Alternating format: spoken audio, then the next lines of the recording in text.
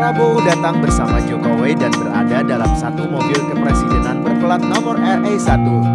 Keduanya berangkat bersama-sama setelah menghadiri upacara peringatan Hari Kesaktian Pancasila yang jatuh pada 1 Oktober tahun 2024 di Monumen Kesaktian Pancasila, Lubang Buaya, Jakarta Timur.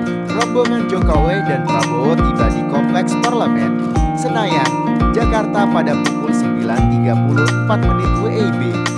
Kapolri Jenderal Polistio Sigit Prabowo juga mendampingi mereka berdua dari belakang. Kehadirannya disambut langsung Sekjen DPR Indra Iskandar. Keduanya saling bersalaman dan melemparkan senyum dan salam. Selanjutnya, Jokowi dan Prabowo berjalan bersama menuju Selasar Gedung Nusantara untuk berfoto bersama-sama dengan Ketua Komisi Pemilihan Umum KPU Afifudin. Presiden berfoto bersama sejumlah pejabat lainnya sebelum memasuki ruang VVIP.